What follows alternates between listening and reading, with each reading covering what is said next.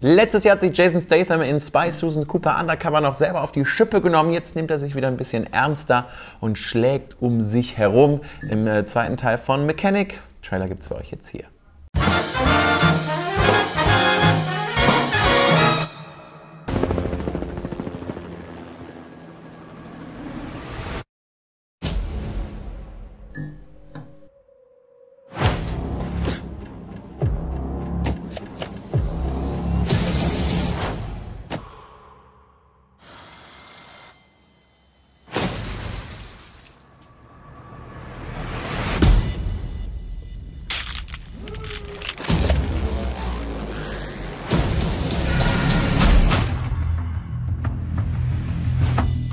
Auftraggeber, den ich vertrete, hat ein Angebot für Sie.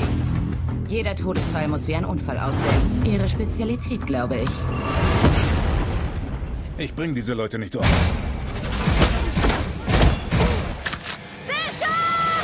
Ich warte schon zu lange darauf, mit dir abzurechnen. Du hast 36 Stunden, um alle Ziele auf dieser Liste zu eliminieren. Oder sie eliminieren mich. Es ist kein Eindringling zu sehen, Mr. Adams. Weil er hier direkt vor mir sitzt im Schutzraum, du Pfeife.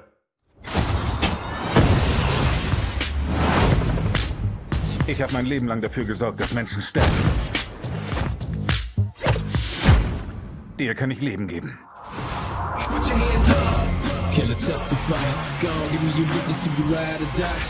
Ich will Ihnen bei der Vermeidung eines Unfalls helfen. Woran denken Sie? An Ihren Tod. Hätte nie gedacht, dass der Tod so belebend ist.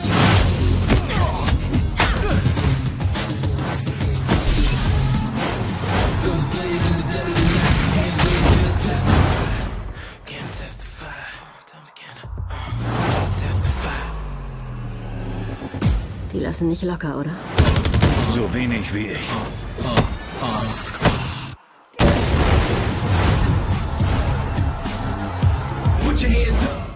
Bei einem Actionstreifen mit Jason Statham, da erwarte ich jetzt nicht, dass es hier eine Oscar-reife Schauspielleistung von jedem Charakter gibt. Eigentlich ist es nur wichtig, dass Dialoge nicht allzu peinlich werden und äh, die Leute irgendwie Bock haben. Jason Statham hat sowieso gefühlt immer Bock, Leute zu verprügeln.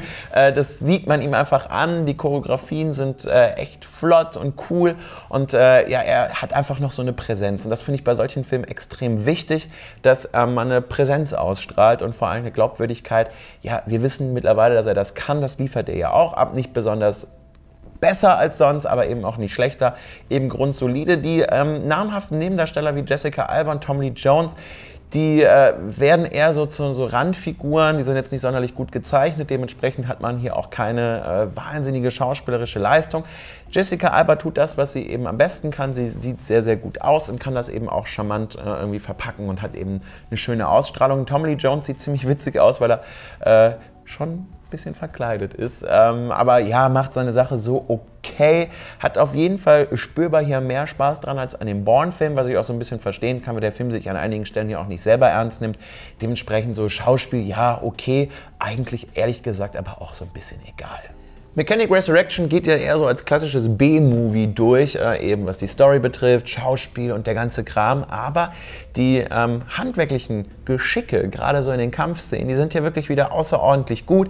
Es gibt ein paar Momente, da werden sie ein bisschen unübersichtlich, da ist das Bild auch so ein bisschen verschwommen. Aber ich finde gerade so diese großen Momente, ob das die Pool-Szene ist, die mich wirklich komplett begeistert hat, ist geil gedreht, eine ziemlich coole Idee und da auch sehr, sehr konsequent in der äh, Gewaltdarstellung. Also wenn eben jemand stirbt, dann hat er eben nicht nur so ein kleines Loch. Das ist jetzt gar nicht so ein Splatterfilm, sondern einfach in sich schlüssig und äh, konsequent. Und äh, gerade auch auf dem Boot, da gibt es so eine Szene auf dem Boot, da passiert auch sehr, sehr viel.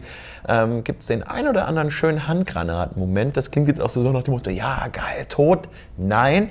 Wenn ich aber einen Actionfilm inszeniere und äh, dort mit verschiedenen Waffen hantiere, dann möchte ich eben nicht immer dasselbe sehen, sondern äh, dann stellt man eben fest, dass sich die Macher durchaus was haben einfallen lassen. Das mag ich, das finde ich gut. Dementsprechend hat mich der Film auf der handwerklichen Seite für das Budget und für das, was der Film sein soll, insgesamt überzeugt. Mir hätte es ja besser gefallen, wenn Mechanic Resurrection äh, so ein bisschen ehrlich gewesen wäre. Hey, wir haben jetzt nicht wirklich eine Story, äh, wir wollen ein bisschen rumballern und Spaß im Kino haben. Dabei versucht gerade Regisseur Dennis Gansel am Anfang wirklich so eine Story äh, zu integrieren, die boah, langatmig wirkt, obwohl es nur irgendwie so 15 bis 20 Minuten sind und irgendwie so ein bisschen fehl am Platz wirkt, weil am Ende wird sowieso nur geprügelt und geballert. Also tut nicht so, als hättet ihr da jetzt so eine krasse Story. Das äh, nimmt eher Tempo raus. Also von mir aus das Ganze irgendwie schnell abhandeln. Das ist ein Film, da brauche ich es nicht. Und wenn ich eine Story integriere und sage, ich würde gerne so einen wirklich ernstzunehmenden Actionstreifen haben, ich würde wirklich gerne Story äh, integrieren, dann braucht man sowieso ohnehin viel, viel mehr. Dann ist es eben nur ein Teil, die, also die Action darf dann nur ein Teil sein. Hier ist es eben so ein großer Teil. Aber sie ist insgesamt äh, spektakulär inszeniert und niemand, der sich eine Karte für den Film kaufen würde, erwartet etwas anderes, als er bekommt. Dementsprechend ist es so ein bisschen Fanservice, aber insgesamt eben gut produzierter Fanservice. Ein Film, der insgesamt äh, unterhält und das bietet, was man von einem Jason Statham-Film erwarten kann, äh, ist insgesamt doch solides Kino, vor allen Dingen, wenn man sich bei den Actionsequenzen immer mal wieder so ein paar Kleinigkeiten einfallen lässt und äh, eben nicht so diese Standard-Action bringt. Dementsprechend gibt es von mir so leicht überdurchschnittliche, vielleicht äh, so ein bisschen fanmäßig angehauchte 6 von 10 Punkten für Mechanic Resurrection. Jeder, der Interesse an diesem Film hat, wird auf jeden Fall nicht enttäuscht aus dem Kino gehen und ich finde, das ist doch auch erstmal schon mal ein Daumen nach oben wert. Wenn ihr was anderes sehen wollt, wie zum Beispiel Mike and Dave Need Wedding Dates, der startet auch bald in den Kinos.